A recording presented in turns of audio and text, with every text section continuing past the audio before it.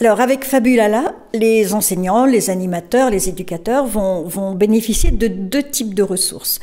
Ils vont bénéficier d'histoires qui sont déjà prêtes, qui sont euh, prêtes à être entendues, racontées, sur lesquelles les enfants vont s'appuyer pour s'approprier euh, une manière de raconter des histoires. Alors plusieurs manières puisqu'il y a plusieurs livres. Donc ça c'est un, un, un matériel d'imprégnation et c'est très important pour développer une langue narrative.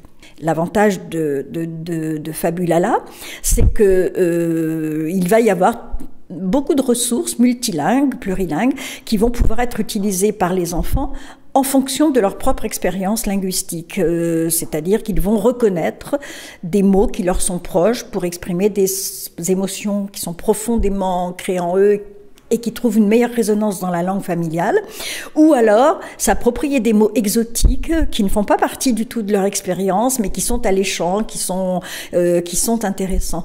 Donc finalement, quand on se retrouve devant le, la mallette euh, Fabulala, on est à la fois devant des univers euh, déjà constitués et des éléments, des voilà, qui vont permettre de recréer des univers, et tout cela en plusieurs langues. Personne ne s'approprie une langue sans être acteur.